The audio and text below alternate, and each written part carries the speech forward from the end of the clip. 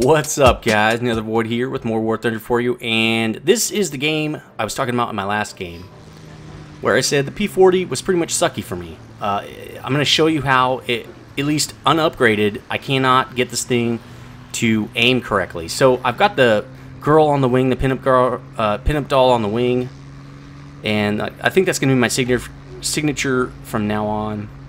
I was putting on my landing gear there because I was like, oh, okay, I'm going to cap the base real quick. I'm going to cap the airfield. Then I realized about halfway down, uh, it's a single airfield map, so that would probably be a bad idea.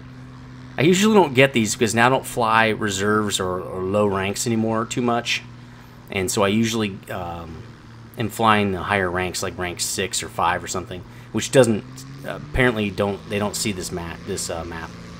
Anyway, the plane flies just fine. When you're trying to maneuver and stuff, it's, it's fine. It's just, when I'm trying to keep a guy on target, the plane flops around a lot and I can't keep my gun on the enemy. And you'll see that in a second here.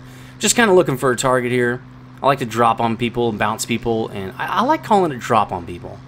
I think the term is bounce, like bounce someone, but I like it calling it dropping on someone because that's technically what I'm doing. I'm dropping on someone's face. So, not seeing any good targets yet. Massive fur ball in there. Do not want to dive in on that. F2A looking fairly choice here, a little far away not further than anybody else. Here's a P40. So I'm trying to come in here, and look at that. It just the, nose is everywhere. Why why it won't dive? I have no idea. So I'm diving in, and I'm trying to trying to turn the plane here. It's just not working out. Just all it needs to do. I think the instructor's messed up. It should just add more rudder right there. it's funny when you get in those inverted uh, situations and the instructor keeps you there. I think that's hilarious. So here's a P40. See how the nose is all over the place? That is just not good. Now, if he's flying straight, I'm fine. I can't believe I didn't get a critical there. That's kind of interesting. But now, turning is also okay, although the wing's out now, so this plane's pretty much dead. There's a Buffalo, and that's the plane I'm about to show you how beastly it is, because it is just so much better than the P40. Now, I know the original P-40s were actually pretty bad. They were rushed to the front lines um, to fill a hole in what the U.S. felt they had in their Air Force. Or it was really the Army Air Force at that point. There was no U.S. Air Force yet. And here again, I'm flying inverted with a broken wing. Boom, I'm dead. So, that plane is down. Let's get the Ki-61. Oh no, I'm going to go for the Buffalo straight off. That's right. F2A-3 here. This plane is very maneuverable. It's pretty awesome. Um, you're gonna you're gonna see this game. I think it, it. I really think the problem with the P40 might be in the instructor and not necessarily in the plane itself. Because the instructor, I feel like, acts really odd. Even though the plane, the, a plane can be very uh, crap on maneuverability, like the uh, H112 series, HE112. Those planes are very unmaneuverable, but when I aim on somebody, the instructor it does very good job at, you know, working the rudder for me and, and, and ailerons when I'm doing mouse aiming. Um, but as you'll see in this in this plane, it's it has a good. I think it has a good instructor. I just think the P40 doesn't have a very good instructor. So Fury, that's a reserve plane. Should be easy kill. He's gonna turn. Sometimes I don't shoot right away because they'll do that turn and I'll miss all my shots and have to reload. So very maneuverable plane this Buffalo and also at high speeds you can see them all still over 370 right here. I thought that was kind of interesting too. You can see the uh, little glass panels in the bottom so that they can see what, what they're looking at in the at the ground there. A couple hits on the Nimrod. Not a great game so far. Let's stay on this guy's tail. These these uh, reserve planes do fall apart quite quickly even when you're on their tail. So critical hit there. His wing is out. It's obvious from the uh, what you're seeing here. Looks like an, an ally's also shooting him, but I get the kill, which should be expect expected. I never actually stopped shooting at that guy, so I should get the kill. So he's down. Machine guns are coming back in. One thing I do like about get, uh, planes with tons of machine guns and no cannons is the machine guns uh, reload very quickly. So P-26, Peashooter coming at me. Doesn't want to ram, which is good because I don't want to ram either. No fun for anybody. Using the elevator here to turn very sharply, or try to turn sharply. Nice loop on this guy. So, kind of what I wanted... Oh, nice. Hit the pilot. At least it looks like it hit the pilot. Apparently, I don't know. Maybe he just fell apart. I didn't get any pilot indicator there. Um, another thing I wanted to talk about was a little bit more about the economy. Just that somebody made a post today, which I think I, I alluded to this in my last, in my previous game, um, where it didn't seem like assault aircraft got any bonus for land targets destroyed. They're pretty much considered fighters in that regard. So if they don't, if they weren't bumped up like the bombers were, and they're getting like this guy was saying 250 lions for a heavy tank kill, I mean, basically they might as well just be fighters. Basically, what War, War Thunder is saying is, or Gaijin is saying is, you're a fighter. But he's like, the dude, the guy's like, uh, but dude, I'm an attacker. So how does that work? I'm a fighter bomber because he was in a P uh, P47, I think, Thunderbolt. And he's like, look, I'm an attacker. I, I, I serve both roles, so shouldn't I also, you know, what's up with me? And I said, you know, yeah, that, that guy should get a bonus. Like, if the bombers got plus, plus 50% to land targets, it seems kind of obvious to me that, that uh, attackers should get plus 25%. You know, half their role is bombing targets. The other half is, you know, in the air. So, bam, nice. Killed that guy right in the face. Dude, this, this plane is a beast. The funny, the thing I think is odd about this is this is a rank 2, and it's outperforming a rank 4. An out, a rank 4 should be able to beat this plane. I, I mean, I don't, if Buffaloes were better in real life than the P-40, why didn't they just use Buffaloes? Well, that, oh, nice hit on that guy too. And I think, and that is because, oh, okay, I just critted the guy in the face. So, I think the reason was there's a lot of stuff in real life that's just not uh, reflected in this game. You know, like cruising altitudes, um, different things like that. Because I know the P40, I was reading about it a couple weeks ago, probably about a month ago now. Well, not a month ago, but I was reading about it on the Wiki Wikipedia, which is the source of all information uh, known to man. Which, by the way, and uh, the best source you can you can get.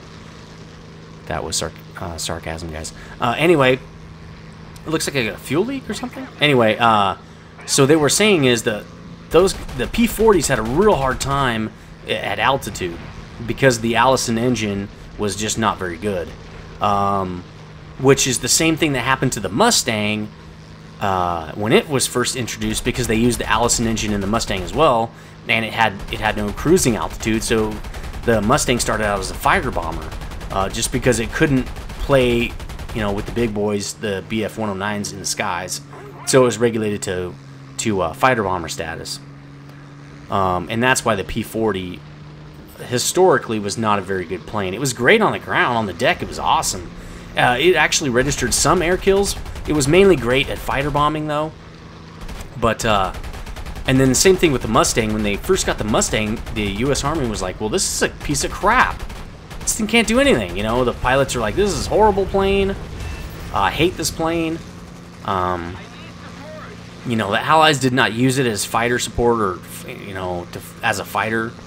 But once they switched out the engine, and I can't remember what engine they switched it out with, but once they did that, and it got climbing speed and got all these uh, advantages for having that bigger engine, it became, it really turned into a dominating fighter in World War II. Um, Again, that could be somewhat U.S. Uh, stuff there. Um, I know that does happen in some cases, and I don't know a lot about everybody else's fighters.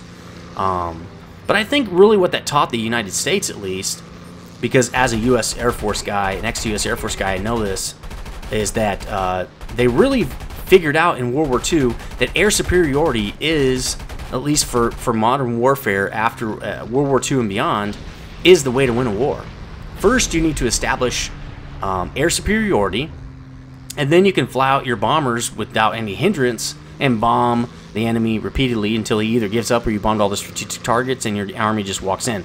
I mean, Desert Shield and Storm was a perfect example of this kind of doctrine. What they did, they flew in the stealth fighters, took out communications and all that crap, uh, took out a lot of uh, key strategic, and there it is again, inverted flight by the uh, instructor there.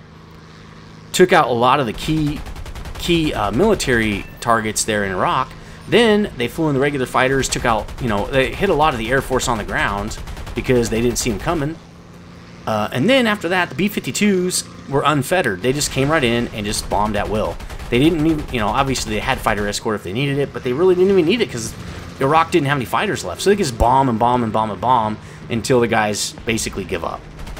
And so that's kind of the same thing that happened in World War II toward the end there is we established air superiority um, and then we just bombed the hell out of them. I mean, uh, that's just the way it was, and and the uh, Mustang really helped the Allies achieve that air superiority. It was, I think, one of the first fighters that they said, tech, you know, quote unquote, this is an air superiority weapon. Uh, since that time, the U.S. has tried, has gone with that strategy of we need an air superiority weapon, and then after that, we're going to have our common fighter. Uh, that would be the second tier fighter, and then after that, you know, we have bombers and crap like that. So they have two tiers of fighter. They have the air superiority weapon, which is technically supposed to be the best fighter in the world. That would be the F-22 right now, at least for the for the U.S. Air Force. I'm not going to argue who has the best air superiority weapon, but what I'm saying is for the air for the U.S. Air Force, the best air superiority weapon is the F-22. Once they dominate the skies, uh, then they send in the Joint Strike Fighter and, and other uh, fighters, fighter bombers, fighter slash bombers like that to uh, do the rest of the combat for them uh, take care of the rest of it, and then, you know, bombers can do whatever they want. So finally I get knocked out after basically ruining the enemy pretty handily there. And the Buffalo is just an amazing plane, especially in those dogfighting situations. Now I'm going to pick up the Ki-61, which is a, uh, a gold plane that I bought. It's a tier uh, rank 4 American gold plane. It looks a lot like an American plane. In fact, to me, it looks a lot like an Airacobra. But it doesn't fly like... Well, in some senses, it flies like an Airacobra. So I got two deaths, seven kills. Pretty nice game so far, over 2,000 XP. But this thing has the same problem that the P-40 does. And I don't know if it's because it's using the same flight model, which it probably is. If the flight model is not built correctly, I would imagine the instructor would have a, have a problem keeping you uh, on target and helping you out if you're a mouse user, which I am. Um, we got Yaks now, Yak 7s. That's a rank 5. Hurricanes are out there. Lots of uh, reserve planes though. So here I am just making a dive. You can't you can't tell much when you're doing a dive. But right here, see how I try to turn on this guy? It looks like it makes a turn with the rudder and then it uses ailerons. Or it's doing something, it's not doing it in sync. It's not syncing up the movement to keep me on target without wobbling my nose around. So here, I was thinking about going for the A20. No, I'm not going to go for him. Speed, I'm doing alright, but the Buffalo actually seems like it has a better cruising speed too, and keeps its speed better. Hurricane coming in on me right here, and now I'm going to get in a turn fight with this guy.